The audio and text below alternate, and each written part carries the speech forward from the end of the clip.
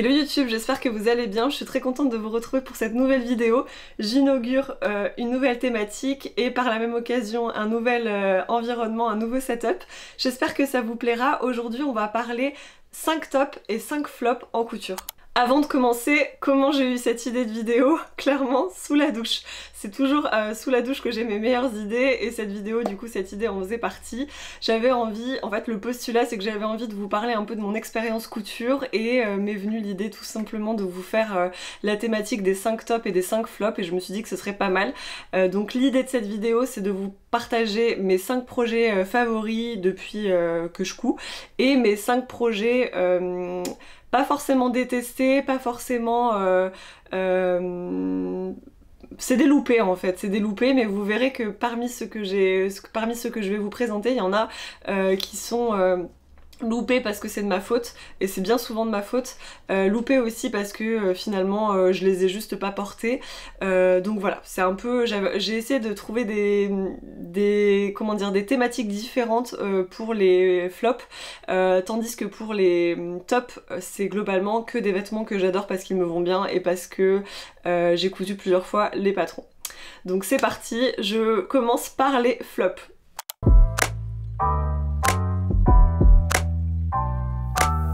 Alors premier flop et c'est le plus récent, euh, c'est la robe perle d'atelier 8 avril que j'ai cousue dans un jacquard euh, Nina Ricci des coupons de Saint-Pierre.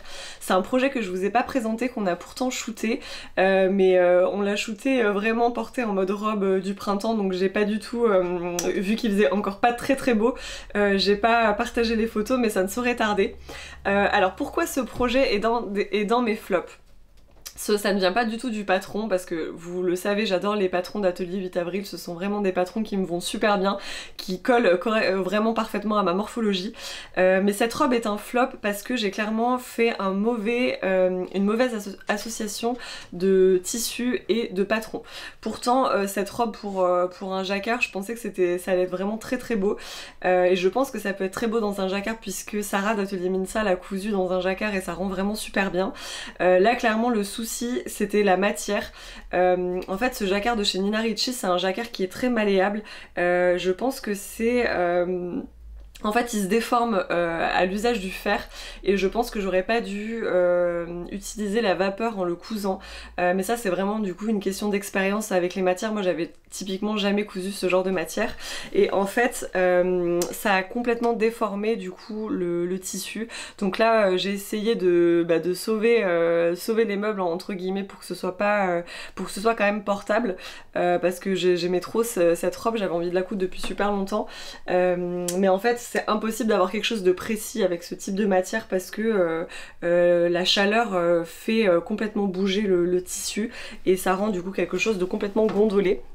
Donc si je vous montre là, vous voyez, en fait la manche elle est pas du tout, vous voyez, en fait elle est complètement gondolée ici à ce niveau-là. Pareil au niveau du bas.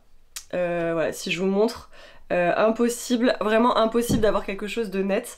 Euh, alors au porté ça se voit pas du tout, mais euh, quand on le sait, du coup c'est pas forcément hyper cool, donc, donc voilà, j'en parlerai quand même sur le blog, je, la présenterai quand même, mais je pense qu'il faudrait que je la retravaille pour, pour essayer d'en faire quelque chose de portable au quotidien, parce que vu que moi elle est pas parfaite, bah là depuis que je l'ai cousue je l'ai pas portée, même si la saison s'y prête pas, je me vois pas trop la porter en l'état, donc il faudrait que je réfléchisse à comment je peux réutiliser ce tissu parce que je le trouvais vraiment magnifique donc voilà pour ce premier flop.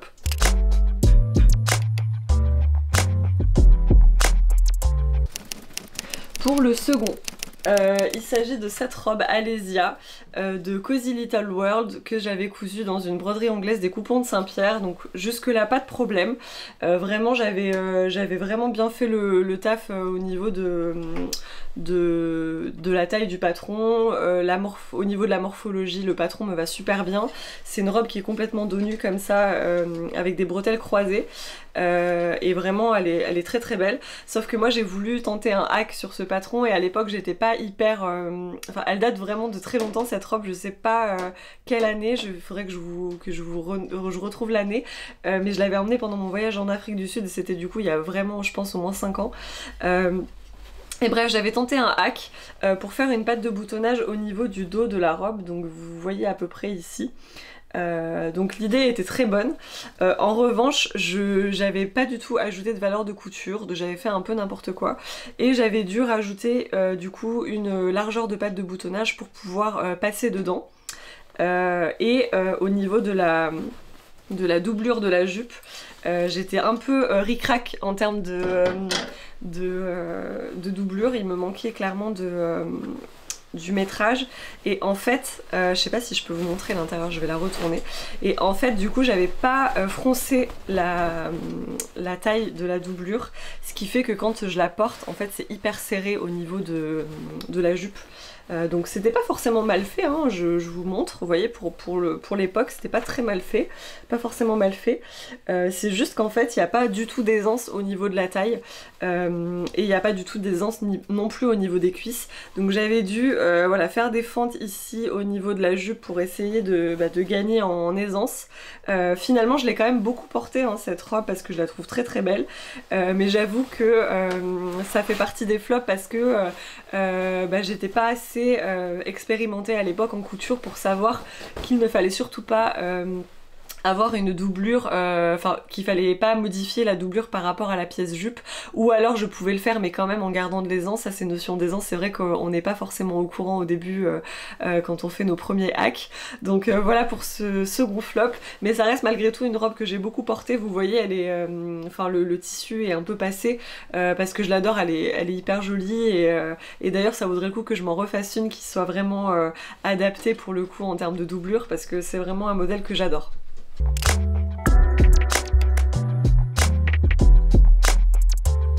Le troisième flop, c'est cette robe, euh, je crois que c'est Columbia, le nom d'Atelier 8 avril. Alors là encore, le problème, c'est pas vraiment le patron, euh, le problème c'est surtout le choix du tissu. Enfin, il y a aussi quand même un problème de patron. Euh, donc je vous explique. Le souci de, ce patron, c'est qu'il ne convient pas à ma morphologie. En fait, la robe est complètement taillée droite. Donc vous voyez, elle est un peu, un cintrée à ce niveau-là. Mais la hauteur de taille, en fait, il y a une ceinture qui est ici. Et la hauteur de taille moi ne correspond pas du tout à ma morphologie. En fait, je, vous voyez la manière dont je m'habille, euh, j'essaie tout le temps de mettre la taille assez haute, de me marquer la taille parce que j'ai pas du tout une taille marquée. Euh, et là, pour le coup, la robe, elle correspond complètement à mon corps, mais je trouve que ça me grossit parce qu'on vient pas marquer la taille, donc je peux la porter avec une ceinture, mais l'emplacement de, la ceinture même de la robe est beaucoup plus bas que ce que moi j'ai l'habitude de porter mes ceintures. Du coup ça match, ça pas forcément. Euh, et c'est hyper dommage parce que c'était une robe pour laquelle je m'étais beaucoup appliquée et, euh, je la trouve vraiment sublime. Euh, je l'avais cousue dans un lin de chez Ziga je crois, c'était un lin qu'on m'avait offert. et par contre voilà en termes de pareil de matière, j'avais pas du tout doublé et le lin est complètement transparent là vous pouvez le voir. ici on voit vraiment tout. Au niveau de la robe c'est pareil on voit vraiment tout. Donc je l'avais porté avec un fond de robe mais finalement c'est pas hyper agréable euh, sur ce type de robe là parce qu'elle n'est pas ample du tout. Euh, et autre truc, c'est que c'est un 100% lin, donc il froisse énormément. Et du coup, le peu de fois où je l'ai porté, notamment pour le shooting, c'était vraiment un chiffon à la fin, donc, euh, donc pas cool du tout. Donc là clairement euh, mauvais choix de... Enfin mauvaise appréciation du patron parce que j'aurais pu euh, clairement euh, rehausser le buste. Si j'avais fait une toile pour cette robe j'aurais pu m'en rendre compte. donc c'est juste un patron qui convient pas à ma morphologie. Et pareil en termes de choix du tissu du coup j'aurais dû anticiper et doubler complètement la robe. Mais après heureusement que je l'ai pas doublé parce que finalement elle me, me va pas du tout. Enfin je trouve qu'elle me va pas, je me sens pas très jolie dedans. et pourtant la robe est très très belle en elle-même. Hein. vous voyez elle est, vraiment bien finie. J'avais... j'avais j'avais fait vraiment euh, des super finitions. Euh, mais voilà, enfin, j'avais pas, euh, j'ai pas beaucoup porté cette robe, je l'ai pas du tout portée même, parce que pour le coup, je me sens pas bien dedans. Pas belle en tout cas. Euh, et voilà, du coup je pense que ça vaudrait le coup que je la recoupe en fait au niveau de, du bas, euh, juste de faire euh, voilà virer ici la ceinture et faire un petit tourlet au biais pour qu'elle soit pas trop courte, pour pouvoir profiter quand même de la, de la chemise, la partie chemise parce qu'elle est pour le coup très réussie je trouve. Donc voilà, ça vaudrait le coup que je vienne couper ici et puis avec du tissu qui me reste, venir faire soit un, un, petit empiècement en bas, soit la finir au biais. Donc ça pourrait être, ça pourrait être une idée de vidéo, je, je comment dire, je, euh, je reprends mes flops en couture pour qu'ils puissent être portables. Dites-moi si ça vous intéresse dans les commentaires.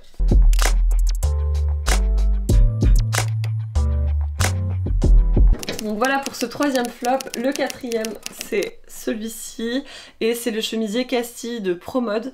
Euh, alors, ce chemisier... Alors déjà, le patron, il est euh, totalement oversized. Donc moi, c'est pas quelque chose qui me gêne euh, pour le coup.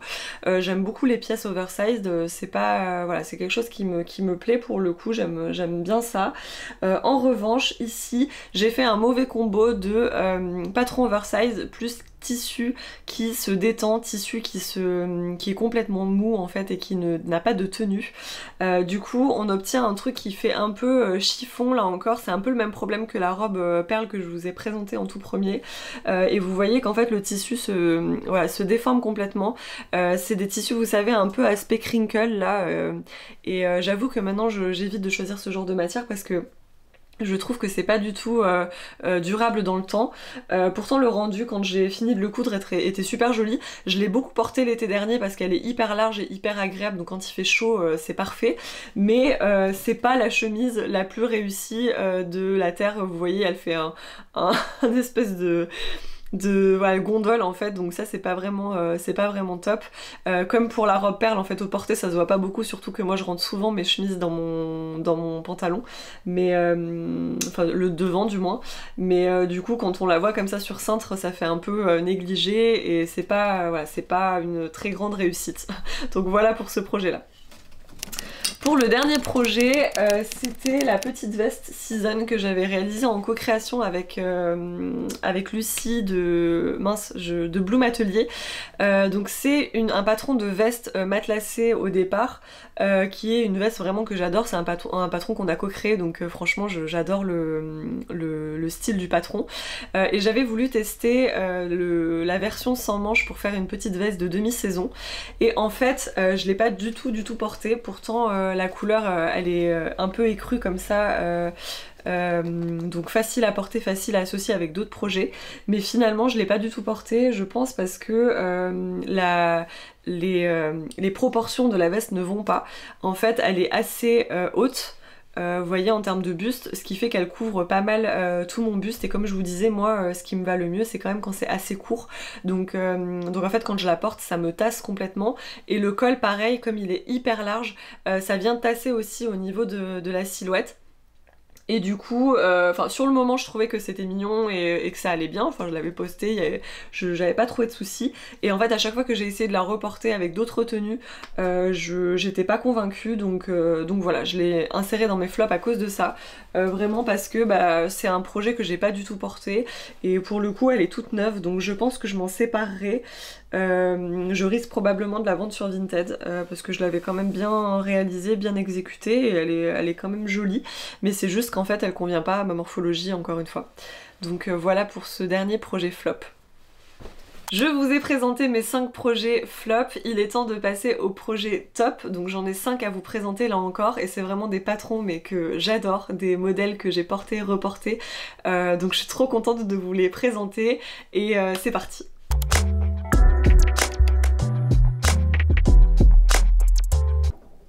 premier projet top, c'est la chemise liseron d'Atelier Scamit. C'était mon premier patron de chemise et euh, c'est une chemise que j'adore. Elle est hyper bien coupée, elle est hyper bien finie. Euh, j'avais appris énormément de techniques en suivant la vidéo de Johanna, euh, qui est la créatrice d'Atelier Scamit.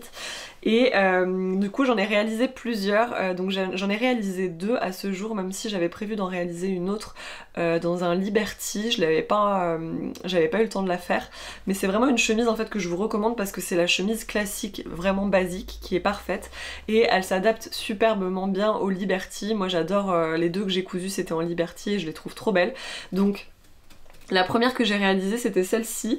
J'avais un peu hacké euh, en réalisant une, euh, une, grande bande comme ça pour pouvoir faire euh, une lavalière que je noue autour du cou mais qui ne soit pas cousue à la chemise ce qui fait que je peux, je peux la porter dans les deux sens donc soit hyper chic avec le nœud au, niveau du cou soit un peu plus décontracté en l'ouvrant au niveau du milieu devant sur la patte de boutonnage tout simplement.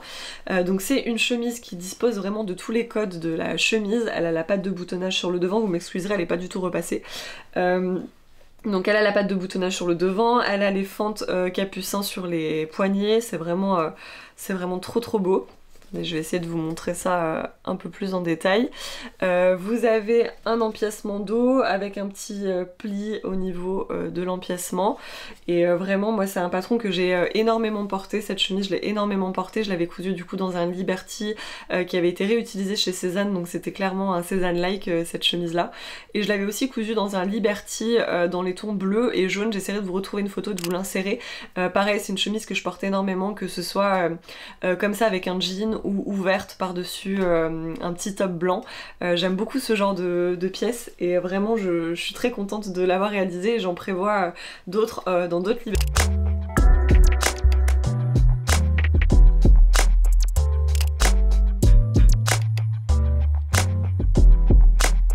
Pour le deuxième projet top, c'est euh, le petit gilet matelassé euh, que j'avais réalisé pour le tuto Singer.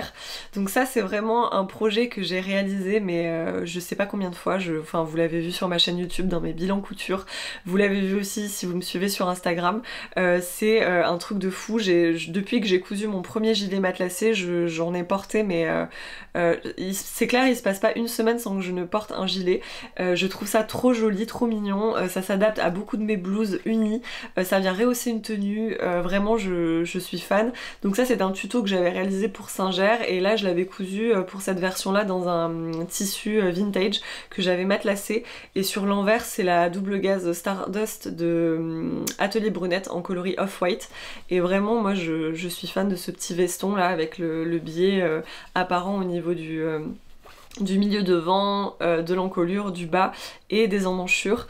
Euh, donc celui-ci était un peu compliqué à faire parce que c'était de la double gaze là au niveau du biais donc euh, en termes de précision c'était pas forcément nickel mais vraiment je l'ai beaucoup porté lui aussi et je le trouve trop trop beau. Il faut d'ailleurs que je le lave, j'ai remarqué qu'il était sale en, prenant le, veston pour faire la, pour la vidéo. Mais vraiment ça c'est euh, un de mes projets chouchou et je pense que je suis pas prête de m'arrêter. Je prévois d'ailleurs un, nouveau petit veston. Euh, il faut que je termine celui de Singer et j'en prévois un autre là pour le printemps.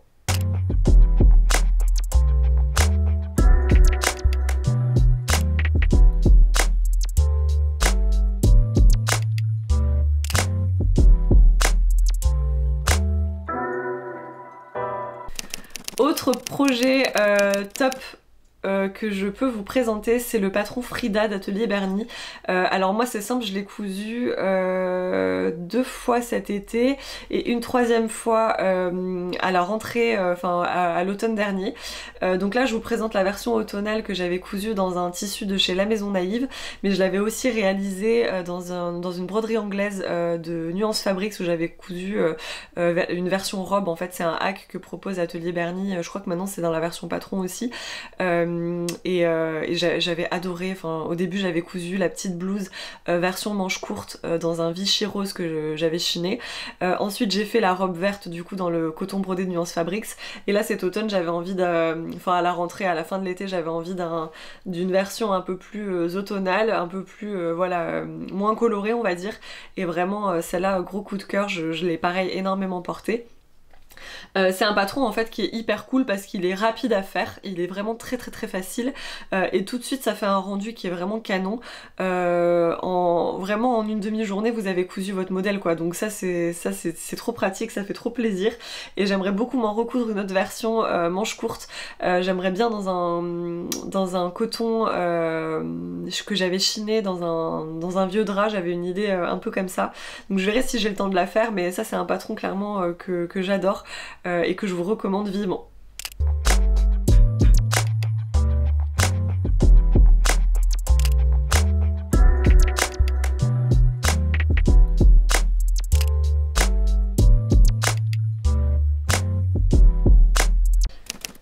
Dernier projet, le cinquième et dernier projet top, euh, vous allez reconnaître le pantalon Perséphone que je vous ai présenté euh, dans mon bilan couture du mois de mars il me semble.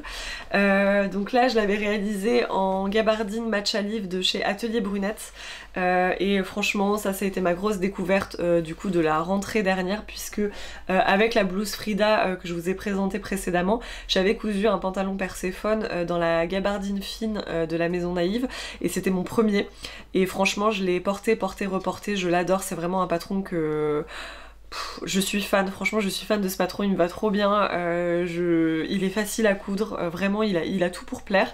et du coup en version gabardine il est encore plus il a encore plus de tenue dans cette gabardine de chez Atelier Brunette. Euh, j'avais fait un petit hack au niveau du dos là pour mettre des poches euh, arrondies. Euh, j'avais cousu des petits passants comme ça. vraiment je, trouve qu'il a des finitions trop belles. En plus j'avais utilisé du biais Liberty là pour réaliser l'intérieur. Et voilà, donc ça c'est vraiment un de mes patrons aussi top. je suis pas prête de m'arrêter sur les pantalons Perséphone parce que franchement au niveau morpho il me va trop bien. Euh, euh, et, puis voilà, il est trop facile à coudre pour un pantalon, ça c'est trop cool quoi.